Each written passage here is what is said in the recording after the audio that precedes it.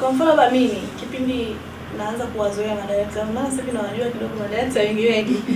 Kuna direkta mmoja yani kiukweli nilikopa sio tashi Mm. ningekuwa nimeshaacha sana kabisa. Nilienda kushuti yani ana hasira zake ametoka nazo huko alikotoka. Mm. lakini kaona ah ngoja nimmalizie huyu. Anakupa sini labda ucheze. Akuelekezi inachezewaje? Umesimama tu kama roboti unamuuliza yeye director hapa nafanyaje una lolote wewe hata kwenye sana ufai kabisa. Yaani wewe yani nikikuangalia huwezi kuwa star hata siku moja.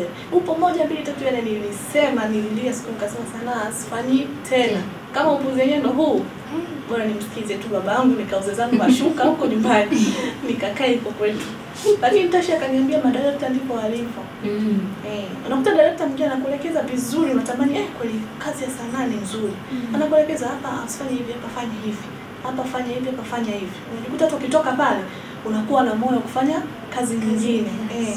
Lakini huyo ah, nilienda kubeba begi yangu, nikasema sifanyi kazi tena. Ikawa naondoka. Lakini Tashi akaniambia hapana, sasa wewe jishushe, kamwombe wewe msamaha. Kosa la kwake. Mm. Lakini kamwombe wewe msamaha ili mradi utimize ndoto Yako. ndoto yako. Mm. Eh. Na kila safari yote watu wengine wanakuwa na hasira, hawawezi ku, ku, kuibalance ile hasira Yaani eh, yaani kwa Hata watu wadogo tabia hizo. Hata ningekuwa mimi, ningeondoka. Hapa tuzungumze na Wahehe. Hawezi kuvumilia. Sasa makabila. Muhehe hapa hawezi kukuvumilia yani hawezi kuelewa. Maana hata Yaani asila inakuwa ni kali, lakini kikubwa unajua wewe unataka kufanya nini, unatamani ufike wapi, hiyo haikukatishi tamaa. Na na imani kupitia hiyo changamoto ndio ilikupa nguvu zaidi ukafika pale ambapo unataka kufika. na mpaka leo huenda tusinge kusikia.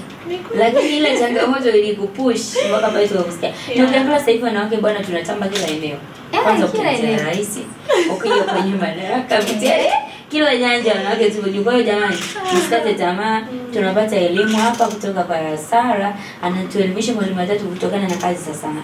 Ah, na jamii pia inayokuzunguka au ambao unaishi inakuchukuliaje mtoto wa kike ambaye unafanya kazi ya sanaa? Yaani kwanza kuelewesha jamii ni kazi sana. Yaani kwanza wakishajua unafanya kazi sana kuwaelewesha Mm. Kwa sababu unakuta mtu ukimwambia unafanya kazi gani? Ah, mimi ni msanii bwana.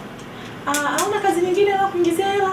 Mm. Ukimwambia "Mm, ni bado sija ninayo kichwani kwangu lakini bado sijaanza kuifanya. Mm. anakwambia "Mm, yani kazi ya ya sanaa kitu chochote kule tu mnajiuza basi na vile mnavyokaa kanga moja vile mnakaa vile nyinyi kweli sanaa gani ile eh, mna- mnapigana makisi vile kweli Sio mtu kumwelewesha mtu ni kazi lakini unakuta mimi nawajibu tu shit. Na tu eh ndo kazi naipenda na ndo nataka ndoto zangu zitimie huko.